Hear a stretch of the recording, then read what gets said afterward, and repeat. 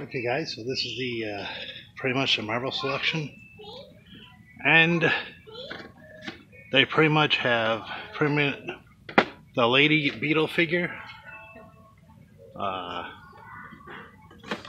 the Lady Beetle figure, and one Baron Baron Voodoo. Uh, got some of those. Going down at the uh, fangirls, but they are at 60%, so if you don't have them, might want to get them. Got a big aisle with Star Wars over here, though. Not the Star Wars stuff, still.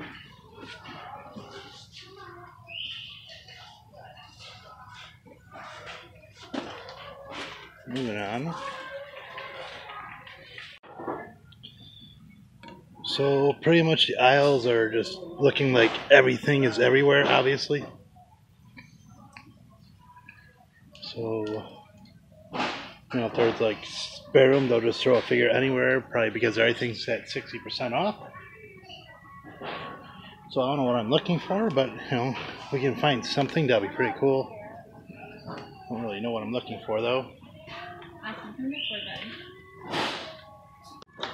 Still have a whole bunch of those uh, B uh, BB-8 uh, play sets. Maybe if I had a couple bucks, I probably would have gotten it, but this is what it is. Uh, one and nineteen for the Disney Infinity that you know can't really play, but it is what it is, right? Up here you have uh, some of the DC uh, figures that are left. No real uh, ones that stand out, but you know what it is, right? It is what it is.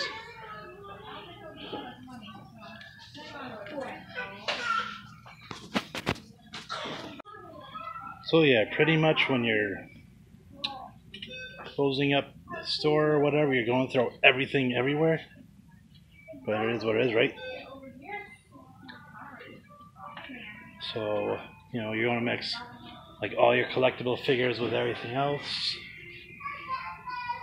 So yeah, we're in the looks like we a bunch of collectible figures, Funko figures still. Yeah, it's pretty just me more mourning this, I guess, than anything. Around the back, you have uh, a whole bunch of things. Um, I probably could pick up this Doctor Strange just because uh, put him in the uh, three and three quarter inch collection, but we'll see. We'll see what I find otherwise. Um, going over here, I have some uh, Justice League playsets. By looks of it, and everything is uh, still 60% off.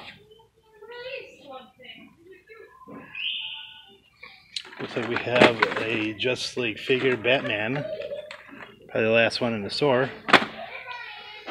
And yeah, not much left here. Oh, I'm sorry, there's some more. Well, it's the same figure, so, you know, like I said, probably the last Batman in the store.